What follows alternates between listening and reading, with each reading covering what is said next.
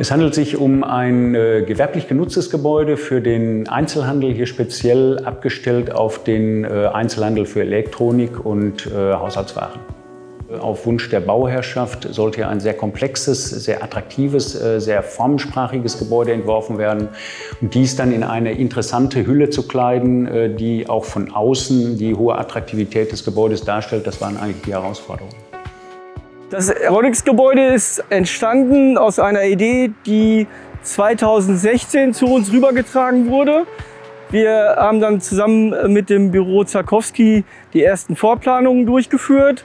Dann wurden teilweise Musterstücke gebaut und wir haben uns äh, mit der Materie beschäftigt, mit den speziellen Grundformen auseinandergesetzt und sind dann 2019 zum Bau übergegangen und der Bau des Gebäudes hat circa sechs Monate gedauert.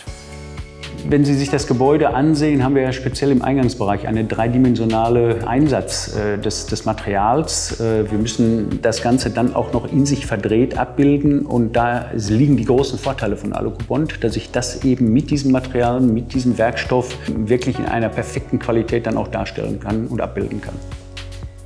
Wir haben hier ca. 1000 Quadratmeter Alucobond-Farbe, White Gold.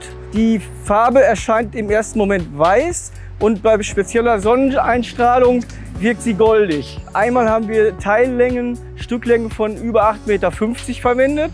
Zum anderen diese gute Verdrehbarkeit des Alucobonds im Eingangsbereich.